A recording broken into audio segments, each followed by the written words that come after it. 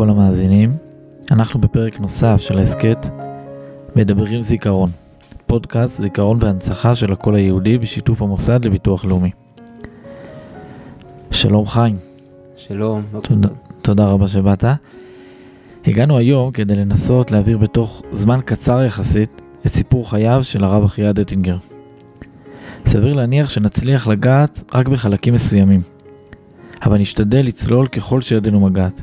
ולהביא כמה שיותר חלקים מהפאזל הזה של חייו.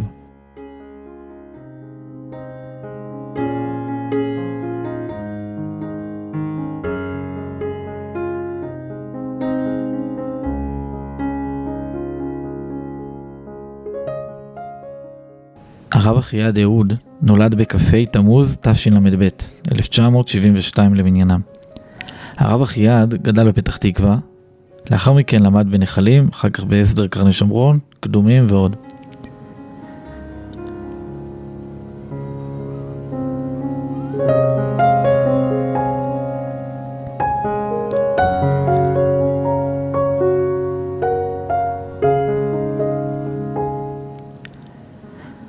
חיים, נתחיל אולי בשאלה הכי בסיסית, על הקשר שלכם. מתי הכרתם? אתה זוכר את המפגש הראשון? בהחלט זוכר. אמ, זה היה ממש אה, מפגש מייצג. אה, כשהגעתי לראות את הישיבה, הציעו לי לבוא לכולל אברכים, להצטרף לכולל אברכים בדרום תל אביב, בשכונת שפירא. אה, הייתי לקראת חתונה, אני וארוסתי מחפשים את מקומנו, ותל אביב בהחלט הייתה אופציה, אופציה משמעותית, אחרי ש... הכרתי את הנושא של גרעינים תורניים והחשיבות של חזרה ל... לערים ולשכונות ש... שקצת ננטשו מאיתנו הדתיים והתורניים. Uh, הגעתי לבית המדרש בשכונת שפירא, uh, בישיבת אורות אביב, ואומרים לי, הנה, זה הרב, ואני רואה מישהו בצורה שאני הולך לראות אותו עוד הרבה שנים קדימה, לפחות שמונה שנים, יושב ומרוכז בספר, הכל מסביבו זז, תלמידים, אברכים, הכל אה, רעש של בית מדרש, והוא מרוכז בספר כאילו העולם עצר, כאילו אין שום דבר לא קורה מסביבו. אה, פניתי אליו, ובבת אחת כל הריכוז שלו הפך אליי. זה כבר הפתיע אותי מאוד. לא ציפיתי שבן אדם כל כך מרוכז בלימוד, במעבר כזה חד יעבור קולו אליי. פנה אליי עם כל הגוף, ושאל אותי, כן, שלום, מה שלומך, מה באת לפה, איך קוראים לך? אה, וישר חיבר אותי לאירוע, בית המדרש, מה קורה פה, הזמין אותי מיד אה, לבוא ביחד עם ארוסתי, לעשות סיור בשכונה, אה, לראות מה, מה יש, מה האפשרויות שלנו. אה, לקבל, לקבל עזרה אם צריך במציאת אה, מקום, דירה, שכירות ולהשתלבות בכולל, בישיבה. אה, פשוט קבלת פנים מושלמת, מעל ומעבר, והכל ברגעים ספורים, ב... תוך כדי שאני שולף אותו מהלימוד. זה היה המפגש הראשון שלנו. היותר זכור מהדקות הקצרות האלה זה שהוא לקח אותי ואת אשתי לסיור בשכונה, הראה לנו אה, כמה, הראה, לקח אותנו והראה לנו רחוב לדוגמה בשכונה, והסביר לנו מה יש, מה, התמודדו, מה ההתמודדויות, ו, ובעצם סלל את דרכנו, שנמשכת עד היום, ב, לפעילות משמעותית לטובת עם ישראל, לטובת התורה. אה, בדרום תל אביב. זו הייתה ההתחלה שלנו. בתקופה הזאת בעצם הרב אחיעד אה, מתגורר באלים, המשפחה שלו, נכון? והוא ראש הישיבה בדרום תל אביב. בתקופה הזאת הרב היה ראשו וכולו בתל אביב. הוא והמשפחה וכולו היה בתל אביב. אה, לקח עוד שבע שנים, עוד שש שנים מאז, מאותו זמן שסיפרתי, עד שהוא עבר לעלי. אה, בין חמש לשש שנים הוא עוד המשיך בתל אביב, וגידל שם את, ה, את הילדים, וממש... אה, אז עוד מעט נחזור לפעילות שלו כן. בתל אביב. אמ, אבל אני אשאל אותך אולי, מה תכונת האופי הכי בולטת שבחוויית זיכרון שלך ממנו? אה, כמובן, הפרצוף בספר כל הזמן.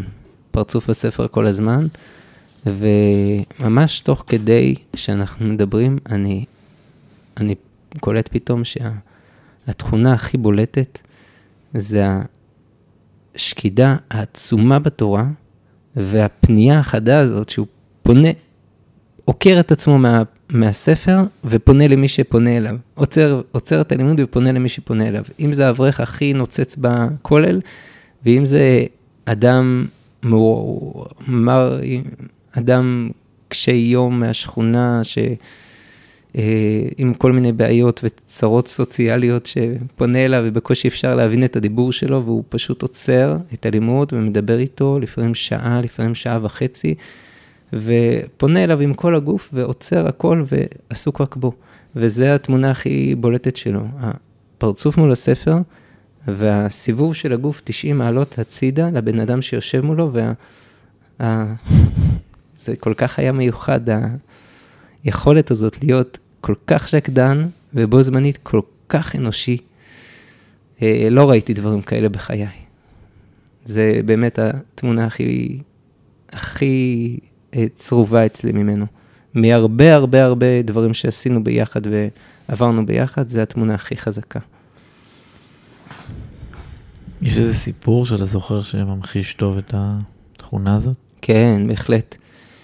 אה, היה איש אה, קשה יום, אה, מר נפש, שעלה כנער ממרוקו. פה בארץ הוא לא למד לקרוא, הוא לא למד, הרבה דברים הוא לא למד, הוא בקושי הסתדר, בקושי עבד. הוא הקים משפחה וגידל ילדים, אבל התנאים שלו תמיד היו קשים, וגם כשהוא כבר, הוא ואשתו היו מבוגרים בבית, הילדים לא כל כך דאגו להם. ובעצם הרב אטינגר היה העובד הסוציאלי שלו בהתנדבות. והזקן המבוגר הזה היה מגיע לפעמים פעם בשבוע, לפעמים פעמיים בשבוע לישיבה. כל תקופה היה תדירות אחרת. מתיישב ליד הרב אטינגר ו... ופשוט אה, שופך את הצרות שלו ואת הכאבים שלו ואת הטיפולים הרפואיים שלו. והרב אטינגר עוצר את הלימוד, עוצר הכל, ומקשיב לו, כאילו, כאילו הוא פוגש עכשיו שר, איזה חבר כנסת או איזה אה, חבר מועצה בעירייה, עוצר ומקשיב לו לגמרי. אני כל כך התפעלתי מזה, וכתלמיד אה, רציתי לחקות את הרב שלי. אז אה, היה פעם אחת שהאדם המבוגר לא הגיע, הרב, האדם המבוגר הגיע והרב אחיעד אה, לא היה בישיבה. אז הכרתי אותו כבר, כי הרב שלח אותי כמה פעמים לעזור לו, לדאוג לו לכמה עניינים, אז כבר הכרתי אותו. והתיישבתי איתו וניסיתי להקשיב לו. תוך כעשר דקות, רבע שעה, הבנתי שאני מאבד את זה, ולא לא מצליח לקלוט, בקושי אפשר להבין אותו, את הדיבור שלו. ו... ופתאום הבנתי מה, מה, מה הרב, כמה, באיזה מדרגה הרב נמצא. אני יותר מעשר דקות, רבע שעה, לא, לא הצלחתי להבין כבר מה הוא אומר, לא, איבדתי את כל הסבלנות. ואיבדתי את הרצון להקשיב, ו, ופתאום הבנתי שזה לא, אנחנו, מדובר במישהו ש... מדובר ב...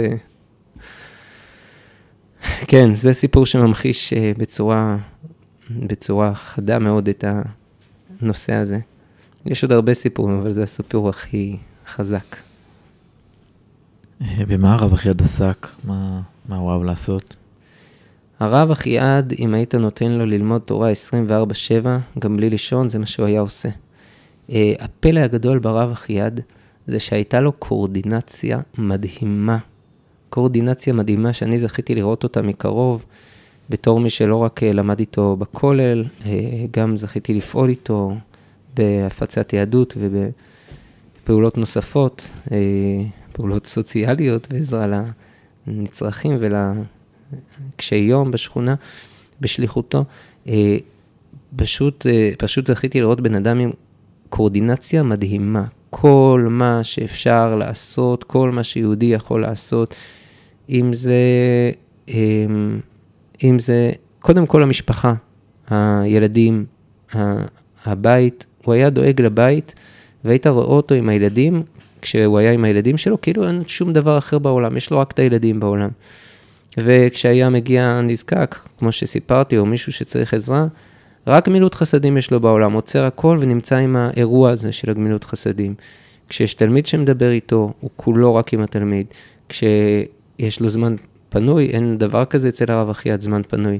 הולך בדרך, טלפונים, שידוכים, תאומים, שיחות עם אנשי ציבור, לדאוג לדברים שצריך בשכונה, דברים שצריך לדאוג לדרום תל אביב, אה, כל הזמן מייצר, מייצר אה, מפגשים ומייצר עניינים, שפעיל מאוד חברתית. אה, יותר מדי דברים לבן אדם אחד, שבן אדם אחד יכול לעשות.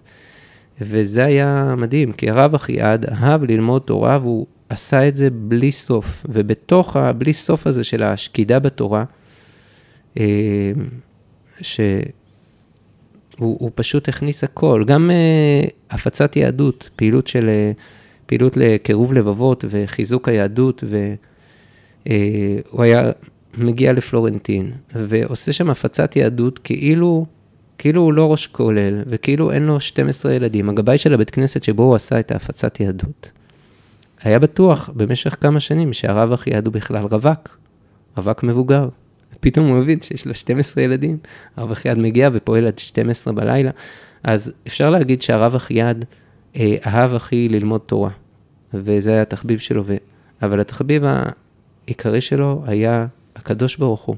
כל מה שהקדוש ברוך הוא רוצה, כל מה שחשוב לקדוש ברוך הוא, קודשא בריחו, שכינתה, ועם ישראל, והתורה הקדושה, וארץ ישראל, הכל היה תחביב אחד שלם עם קורדינציה מופלאה, שלא ראיתי כמותה ב-36 שנותיי, רק אצל הרב אחיעד. אני רוצה להשמיע לך אה, קטע קצר, משהו כמו דקה, דקה וחצי, בסדר? ברוכים הבאים לשכונת אה, נווה שאנן, שכונה עתיקה עם עבר אה, זוהר ויפה, וב-11 שנים האחרונות הפכה להיות אה, אפריקה ישראל. השכונה עם ריכוז הכי גבוה של שוהים בלתי חוקיים. לאט לאט האוכלוסייה היהודית עזבה או הזדקנה, וכיום מדובר בערך על 30 אלף שוהים בלתי חוקיים, ובערך כ-4,000 יהודים, ישראלים, חלקם הגדול סגר בית משעות החשיכה, בייחוד מ-9 בלילה, מ-8 בלילה. לפני שנה הגיעה לכאן אה, קבוצה של 12 אברכים והקימה את ישיבת עוז ואמונה, ישיבה שמטרתה להוציא תלמידי חכמים בעלי הוראה ולהפיץ תורה בעם ישראל, בייחוד בדרום תל אביב רבתי.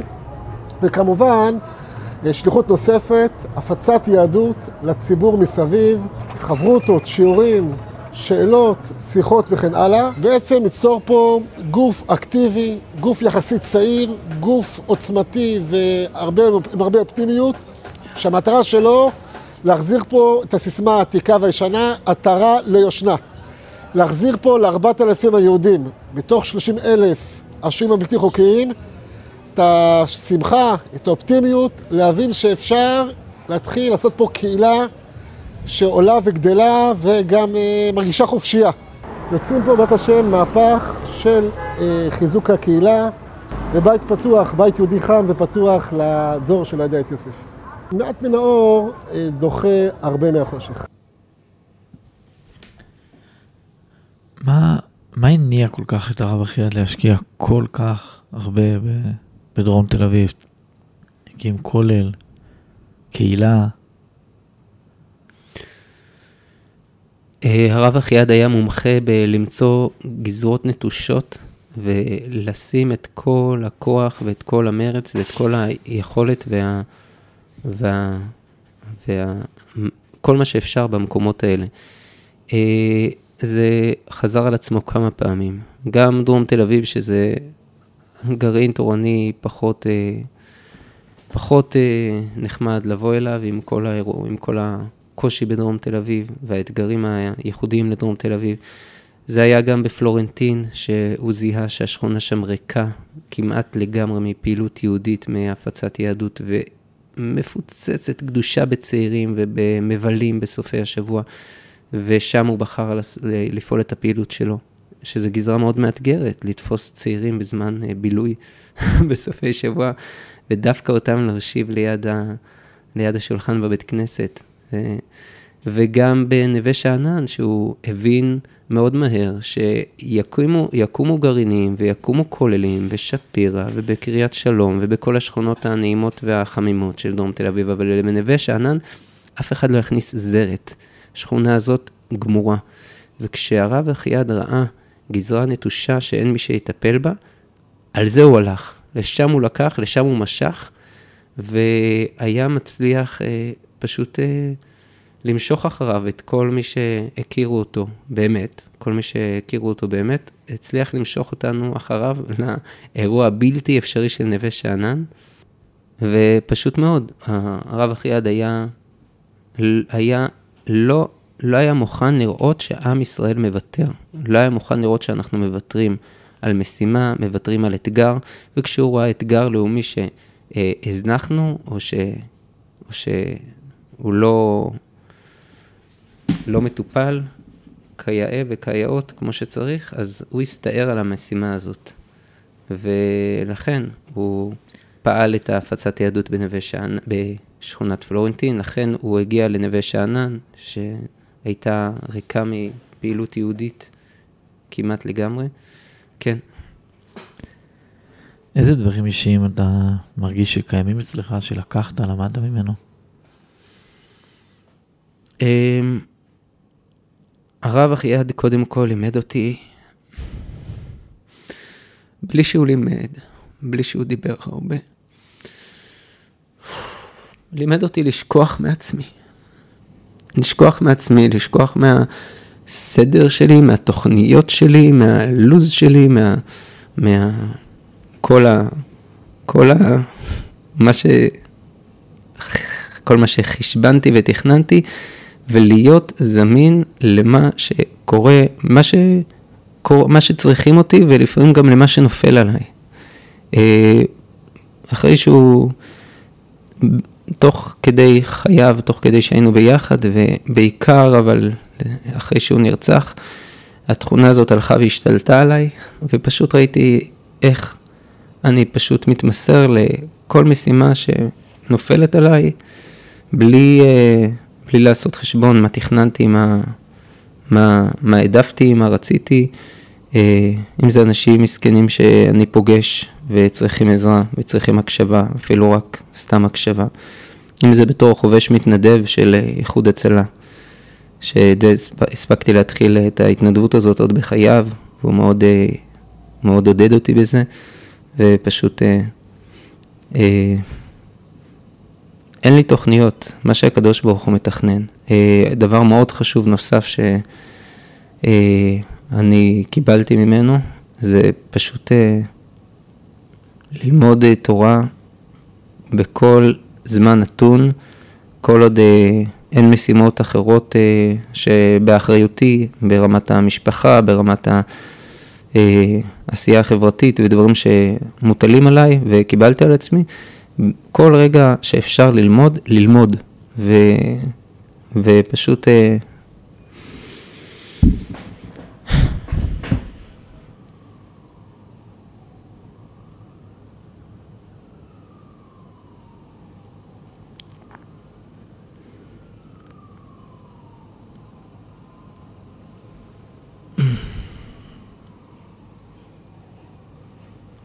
כל כך הרבה דברים קיבלתי מהרב אחיעד. אני מנסה לסגור את זה על שניים שלושה דברים, אבל אני פשוט uh, בן אדם אחר מלפני הרב אחיעד ומאחרי הרב אחיעד. זו שאלה שאי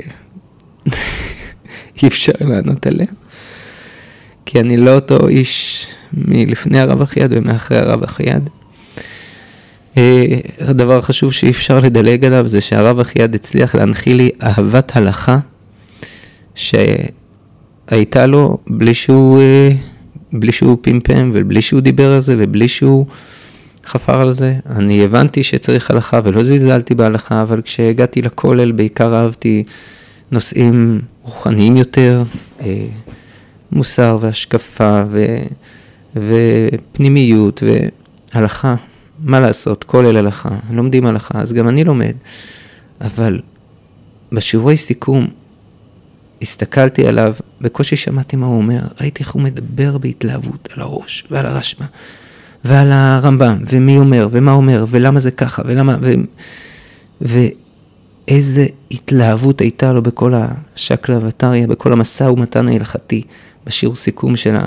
לפעמים לא הייתי מבין כמעט כלום, בתור אברך חדש בכולל הלכה, והייתי מסתכל עליו, מאופנת, ופשוט אה, הדביק אותי לכל חיי באהבת הלכה כזאת, ש, ש, שלא דמיינתי בחיים שאני אהיה כל כך מחובר להלכה וללימוד ההלכה, אה, עד, ש, עד הרב אחיעדה. וזה נמשך עד היום, ולא לא נחלש, אדרבה רק הולך ומתגבר. אהבת הלכה שזכיתי לקבל מהרב אחיעד. בלי, בלי שהוא דיבר על זה, בלי שהוא הרצה על זה, פשוט מדוגמה אישית, לא מדוגמה אישית, מה... מהלהט וההתלהבות האישית שלו בלימוד. כן.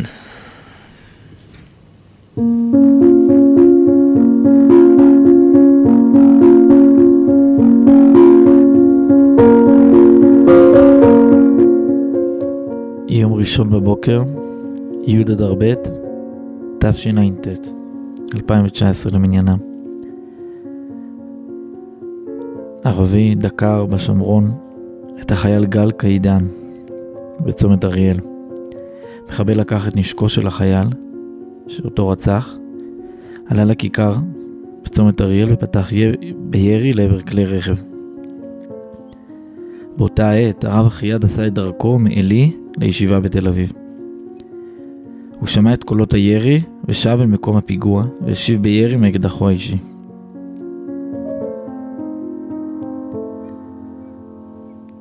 הרב אחיעד, שהציל במעשיו חיי יהודים רבים, נפצע בפיגוע באורח אנוש. למחרת הוא נפטר מפצעיו במרכז הרפואי בלינסון.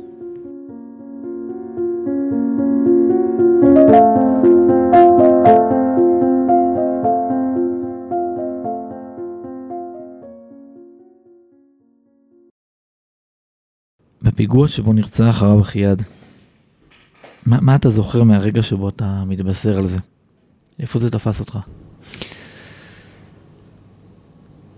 אני הייתי בבית בבוקר, אה, מתארגן, התארגנות האחרונה לקראת יציאה לכולל, ואני בדיוק שומע בחדשות ידיעה ראשונה על אה, פיגוע ירי בצומת אריאל, ואני מצטער נורא ומקווה שכמה שפחות נפגעים ושכולם יצאו משם בשלום, ויוצא לכולל. אה, לא עוברת שעה של לימוד, ובפתח הישיבה ניצב אחד האברכים, יד ימינו של הרב אחיעד, יצחק וסרלאוף, היום חבר כנסת יצחק וסרלאוף, ופשוט מכריז שהרב אחיעד נפצע בפיגוע בצומת אריאל, וצריך להתפלל לרפואתו. וואו, לזה לא ציפיתי. ועם הזמן, ב- לאורך היום, הבנו שלא מדובר בפציעה פשוטה, ומתחילים לעכל את זה שהרב אחיעד שלנו לא ברור, לא בטוח בכלל שיחזור אלינו ושאם הוא יחזור, אם הוא יהיה מה שהוא היה, בעקבות הפציעה הקשה בראש. ו...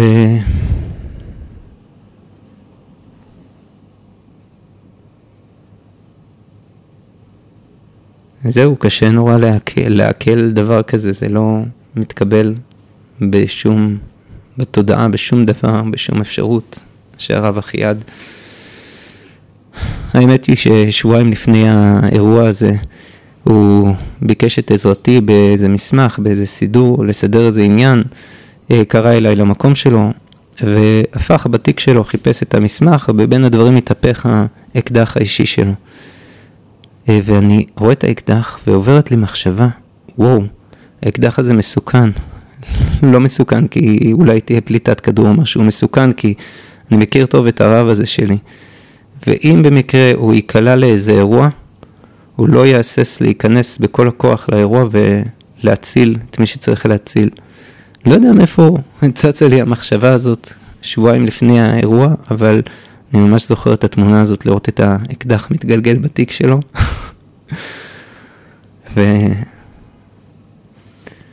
וזהו, זה מה שהיה באותו היום.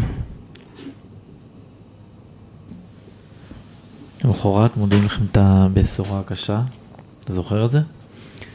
אמ, רק רגע, עוד באותו ערב אה, בעצם, אה, זכיתי להגיע לרב חיאד.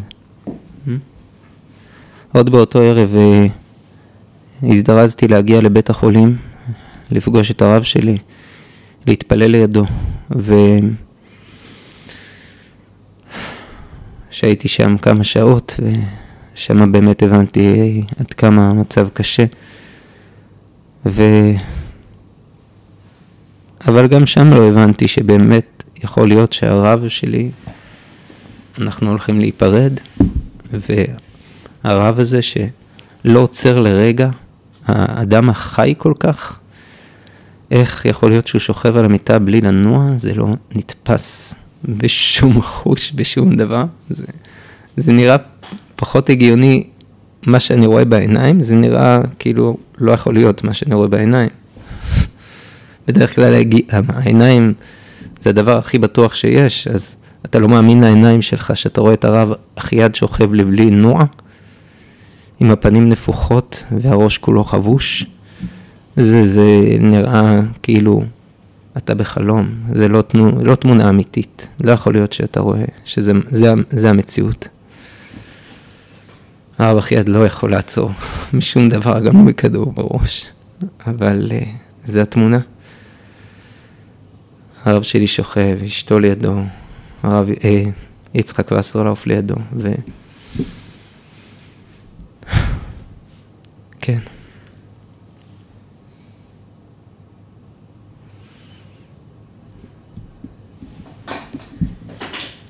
שוב למחרת מספרים לכם ש... שהרב אחיה נרצח. איך מעכלים את זה בכלל? זה אפשרי? לעכל דבר כזה? אה,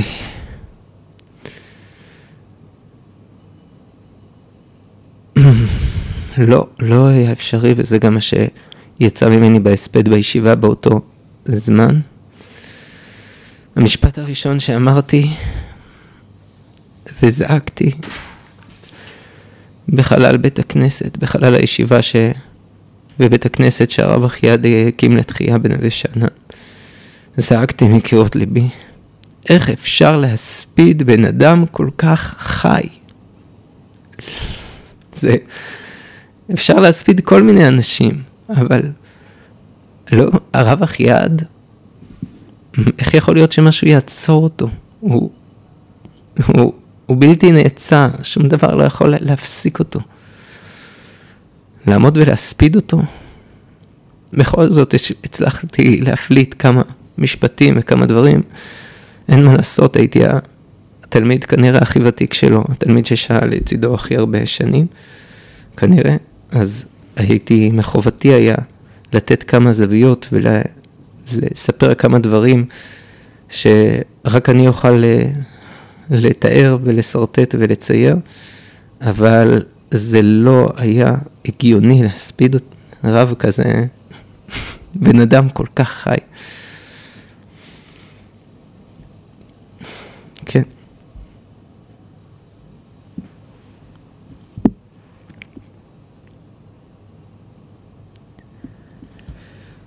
היום אנחנו נמצאים למעלה משלוש שנים אחרי שהרב אחיעד כבר לא איתנו. אחרי כל האובדן, יש רגעים כאלה שמרגישים בהם שאותו אדם שאיבדנו נמצא פה איתנו.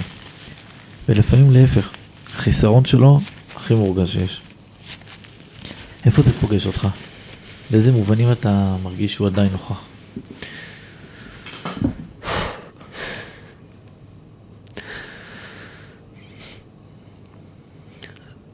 הרב אחיאדב הפך להיות אה, חלק ממני. ואני לא חושב שעובר יום שאני לא נזכר בו, שעובר יום שאני לא נזכר בדברים שהוא עשה, שיש יום שאני לא חושב מה הרב אחיעד היה חושב על זה, על מה שקורה לי עכשיו, מה הוא היה יועץ, מייעץ לי על זה, מה הוא היה עושה במקומי. אה, הרב אחיעד אה, ממש בפשטות הפך להיות, אה, הפך להיות אבא שני שלי, בתור מי שגדל עם אבא עולה חדש, שמצא את דרכו בניסי ניסים חזרה אל עם ישראל, אבא שלי גדל בנורבגיה, רק בגיל 14 גילה שההורים שלו גילו לו שהוא יהודי, והוא עשה את דרכו, מצא את דרכו חזרה לעם ישראל ולארץ ישראל, ומצא את דרכו לחיי תורה ומצוות, אבל רק ברמה של שבת כשרות, רמה מאוד בסיסית של דתיות, ובעצם אה, אני הייתי צריך למצוא את אה, דרכי לחיים ישיבת, לחיים תורניים ולחיים משמעותיים. אה, שם הרב אחיה דטינגר הגיע, ופשוט המעט שהספקתי לבנות במכינה לפני הצבא ובעוד שנת בוגרי צבא אחרי הצבא, הרב אחיעד אה, נכנס לשם, אני נכנסתי, אה, היינו ביחד שמונה שנים, ובעצם כל מה שלא זכיתי לקבל מאבא, קיבלתי, קיבלתי מאבא אחיעד. נכון שביולוגית יש לו ילדים אחרים, אבל אני בהחלט רואה אותי כאחד הבנים שלו, ומשתדל אה, להמשיך אותו ככל יכולתי בדברים הטובים שהוא עשה ובדברים שהוא רצה לעשות ולא הספיק לעשות. הרב אחיעד אה, פשוט כולו, כולו בי, ו... אה, היו דברים שהוא השפיע עליי בשמונה שנים שהיינו יחד, חלק מהתכונות נקלטו, חלק מהדברים פחות נקלטו. אחרי שהוא נרצח, פשוט אה, הרב אחיעד הפך להיות חלק ממני. חלק מהחיים שלי, חלק מהעשייה שלי, לא זז ממנו והוא לא זז ממני. יום יום.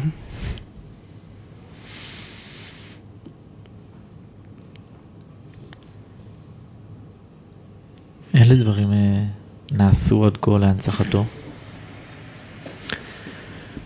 אוי, לשמחתי הרבה, הרב אחיעד היה הרי כל כך, אני חייב להקדים הקדמה, שהרב אחיעד היה כל כך חלוץ בחייו, שהוא לא זכה לכל כך הרבה תמיכה ועזרה וסיוע בכל מה שהוא עשה. אה, אם זה בעשייה בפלורנטין, שזה אירוע מאוד מורכב להגיע לפלורנטין ולתפוס שם מבלים בסופי שבוע. זה לא נראה מקום מתאים לייצר שם מפגש של יהדות. זה לא, ה, לא המצב המתאים לתפוס צעירים באמצע בילוי, חלקם קצת שטויים, חלקם לבושים לא כמו, לא כמו שצריך כל כך בשביל להיכנס לבית כנסת. ולקחת אותם לשיעור וללימוד משותף. ו... לקידוש בליל שבת, להבדלה במוצאי שבת, הרי לזמני הבילוי בסופי השבוע. והרב אחיעד עשה את זה, וקשה לגייס תורמים ותמיכה לאירוע סוריאליסטי כזה. אה, וגם בהקמת הישיבה בנווה שאנן. מה פתאום ישיבה בנווה שאנן? ישיבה בנווה שאנן זה מאורות סמים ומחילה מכבודכם, סליחה ממש, אבל בתי בושת לעשרות. ו... זה לא מקום לפתוח בו ישיבה. כל כך, לרוב האנשים, לרב אחיעד, כן, אם התורה שלנו מספיק חזקה ומספיק אמיתית ומספיק uh, טובה, היא יכולה להצליח גם במקום הזה. הרב אחיעד האמין בזה ועשה את זה. והרב אחיעד לא זכה למספיק תמיכה ולמספיק uh, uh, עזרה במפעלים שלו בחייו, כי המפעלים שלו היו חלוציים מאוד ופורצי דרך מאוד.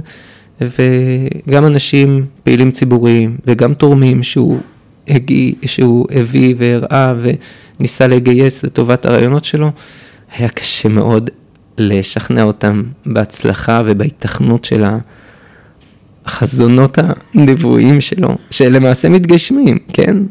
אבל כיום הם מתגשמים, אבל היה מאוד קשה לגייס אנשים לדברים האלה שלו.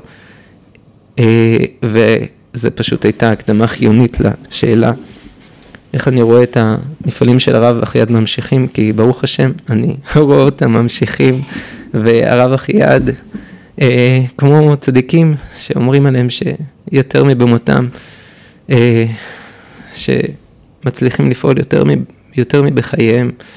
אז כשהרב אחיעד אה, נרצח, פתאום כולם התעוררו, כולם הבינו איזה איש היה לנו פה, איזה חלל נפער פה, איזה חיסרון גדול עם ישראל חסר עכשיו, וכמה פעילות של אולי עשרות אנשים לא היו עושים ביחד את כל הפעילות שהוא עשה. רק בישיבה לבדה, השעות שהוא היה לומד, לפעמים הוא היה לומד יותר מאברך פשוט שאין לו כלום על הראש. גם ניהל את הישיבה, גם אה, שיעורי סיכום, גם אה, גייס תרומות לישיבה, גם אה, היה פעיל ציבורית לטובת נווה שאנן, גם במקום החדש שהוא כבר עבר לעלי בשלב של הישיבה בנווה שאנן, באיזשהו שלב הוא כבר עבר לעלי, גם היה פעיל שם בשבתות, בקהילה שם בשכונה, ולא יאומן כמה דברים בן אדם אחד הצליח לעשות. וכשהחלל הזה התגלה, פתאום גילו איזה חלל נהיה פה. המון אנשים ניסו למלא את החלל, את החוסר. אה, הישיבה בנווה שאנן, אה, היה נראה שהיא הולכת אה, להיגמר, כאילו מי, מי, איך, איך הדבר הזה יכול להמשיך בלי הרוח החיה של הרב אחיעד. ברוך השם, התגייסו המון אנשים טובים לטובת הישיבה, מוסדות בני דוד מעלי גם התגייסו לטובת הישיבה. אה, במלוא הכוח ושיפצו אה, את, המבנה, את מבנה הישיבה והצליחו להביא קבוצת תלמידים ראשונה אה, לאחר, תוך כחצי שנה, לאחר הרצח, כשלמעשה גם הרב אחיעד ניסה להביא תלמידים וגם אני ניסיתי לעזור לו, גם יצחק. אבל uh, היה מדובר בתלמיד, שניים, שלושה תלמידים לכל היותר, לא הצלחנו להביא תלמידים לנווה שאנן, זה לא מקום נורמלי להביא אליו בחורים ותלמידים, ועם כל התמיכה הציבורית ועם כל ההירתמות של המוסדות בני דוד, הם הצליחו להביא חבורה מתוך, המכין, מתוך ישיבת עלי, וברוך uh, השם, אחרי חצי שנה היו קבוצת תלמידים ראשונה בנווה שאנן. והיום המפעל הזה של הישיבה פורח, יש עשרות בחורים בישיבה, בשתי פנימיות. השכונה כולה רואה את הבחורים הצעירים, את הכוחות החדשים והרעננים בנווה שאנן, ו, ו, והישיבה פעילה ב, בהרבה הרבה תחומים, גם חברתית וגם אה, אה, שמירה על הצביון היהודי בשכונה וגאולה של בתי כנסת נטושים. נטושים זה מילה יפה, בתי כנסת שהפכו למאורות סמים ולדברים עוד הרבה יותר גרועים מזה. אה, אה, הישיבה דואגת להם ומנסה לטפח אותם ולחזק אותם ולשמור עליהם ולהחזיר את הפעילות היהודית אליהם. אה, במקביל לישיבה, ברוך השם, גם תלמידים של הרב הקימו עמותה, עמותה בשם עמותת אחיעד, אה, ושגם כן, הרי נווה שאנן לא חסרה, לא חסרה מצרכים ודברים ופעילות שצריך לעשות שם, ובכלל אה, הרב אחיעד היה פעיל בכל דרום תל אביב, ולא רק בנווה שאנן, גם בפעולות של חסד ו, וצדקה ועזרה וסיוע, אה, והעמותה נכנסה לפעילות בעצימות גבוהה, בעיקר בחודשים האחרונים, ופועלת גם כן לטיפול ולחיזוק של בתי כנסת, גאולה של בתי כנסת נטושים. בית כנסת אה, נטוש לגמרי שנמצא בשכונת כרם התימנים, הפך לבית כנסת פורח, לבית כנסת פעיל, עם כולל, עם אברכים, עם אה, פעילות של חיזוק היהדות וקירוב רחוקים, קירוב לבבות. כמובן גם פעילות של עזרה לנזקקים וחלוקת סלי מזון. עם הזמן הפעילות של הסלי מזון היא התרחבה גם ל, לעזרה למי, ש, למי שנכונים לצאת לעבודה, ל, לעזור להם, לעודד אותם ולמצוא להם עבודה מתאימה, עבודה מכובדת, שלא יצטרכו עוד סלי מזון, ויש הצלחה בזה. עמותה שגם דואגת למשפחות שנכנסות לאבל ויושבות שבעה, ובתוך כל, ה... בתוך כל האבל והקושי וה... והפטירה וכל הסידורים וההלוויה והקבורה, צריכים עכשיו לארגן מקום לכל המשפחה, לשבת שבעה. אז uh, העמותה דואגת להם לאוהל ולאוהל אה, ישיבת שבעה, לכל מה שצריך בשביל זה.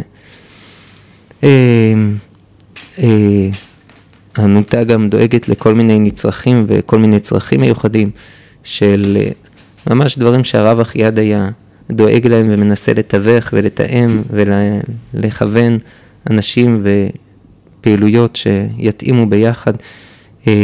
לדוגמה, אה, סלון כלות, שהעמותה על שם הרב אחיעד מתואמת איתו, ומציע פשוט לכלות עם, אה, במצב סוציאלי משפחתי ש, שמתאים לזה, שהם באמת, אה, יש צורך לקבל את כל, ה, כל מה שצריך, כל ההכנה לחתונה, השמלת כלה וכל מה שצריך, במחיר של עד 3,000 שקל, בתיאום עם.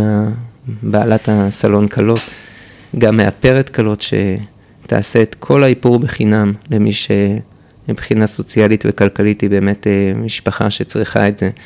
גם אה, אה, מערכת של שידוכים, שהרב אחיעד ממש היה מתמסר לנושא הזה של לעזור לאנשים למצוא את בן זוגם, את הזיווג שלהם, את השידוך שלהם, אז העמותה פועלת.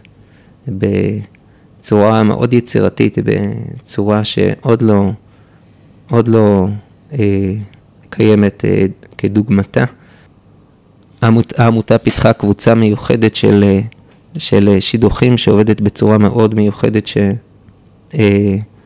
שהופכת אה, את, ה, את השותפות בקבוצה ואת הדרך למצוא את הבן זוג שלך בקבוצה למאוד אה, קלה ונוחה וחינמית. ו... ונגישה. אה, ובתוכנית גם אה, לפתוח אה, סופר, לפתוח סופר שפשוט יהיה בחינם למשפחות נזקקות שהוכיחו את נזקקותם והם באמת, טוב.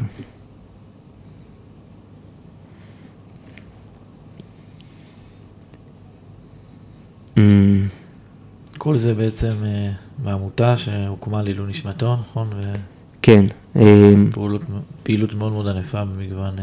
אה, כן, שזה ממש, אה, כל מה שפירטתי עכשיו, זה מדהים, כי המון אנשים עובדים על זה, ומשקיעים בזה הרבה זמן וכוח.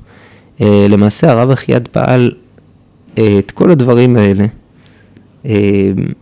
גם אה, חסד וגם קירוב רחוקים וגם אה, כולל אברכים וגם אה, סיוע כלכלי וכל הדברים האלה הוא עשה בעצמו עם המון, פשוט בקואורדינציה שלא תאומן. לא יודע מתי היה לו זמן לעצמו, לא, לא היה לו זמן, הוא לא היה צריך זמן לעצמו, זה היה העצמות שלו. הירתמות לכל מה שעם ישראל צריך, הוא היה שם כל כולו, וכנראה שזה היה פשוט התענוג הגדול שלו, והוא לא היה צריך שום דבר אחר.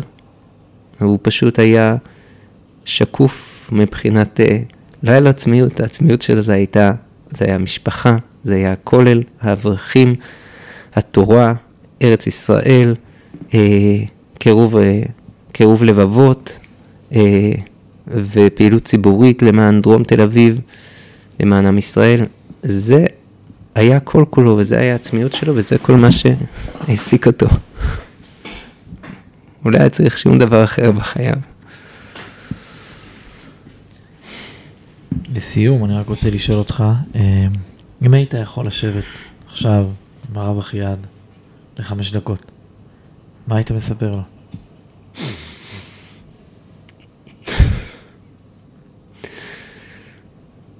אני שמח ש...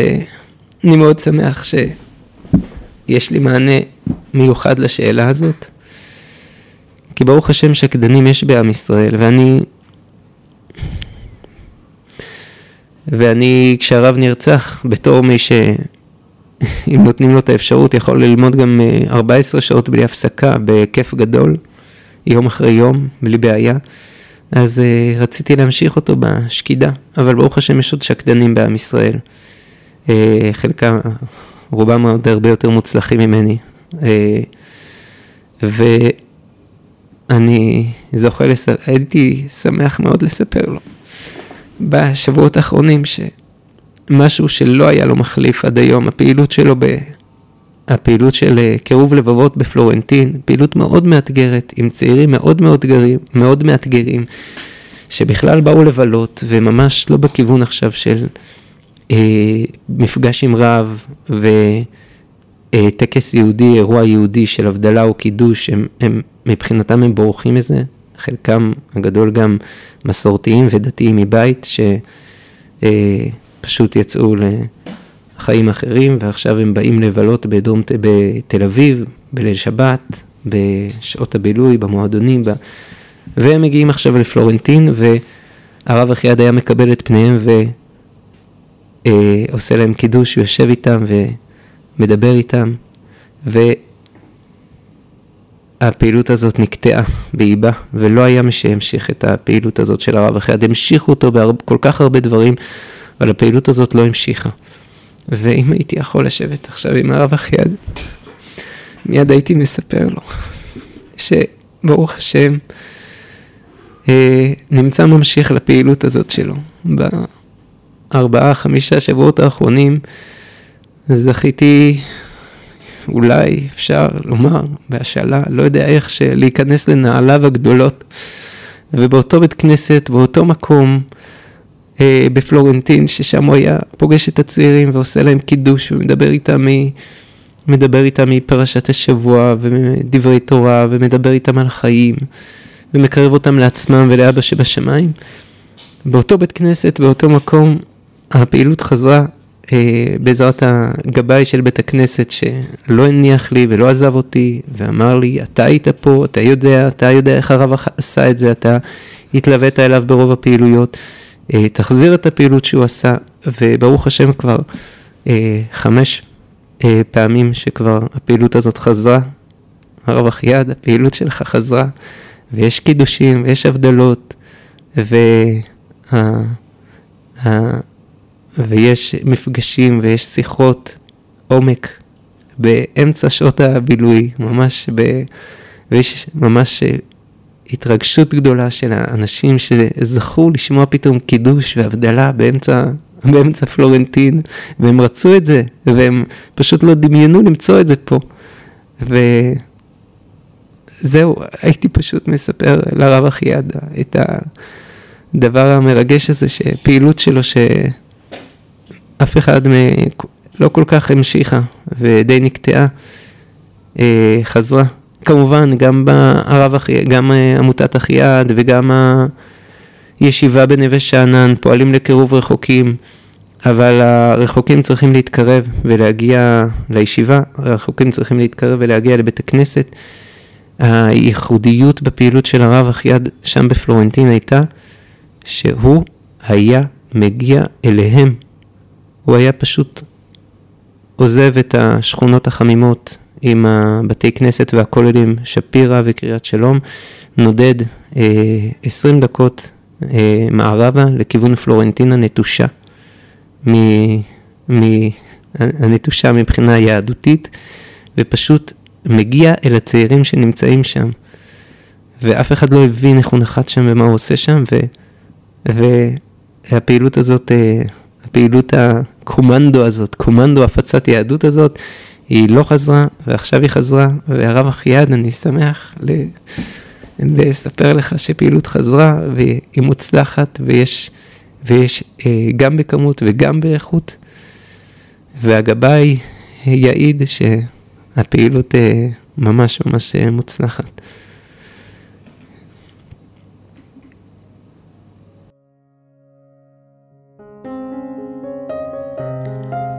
תודה חיים שהגעת לפה ושיתפת אותנו בזיכרונות ובדמותות של הרב, אחיעד.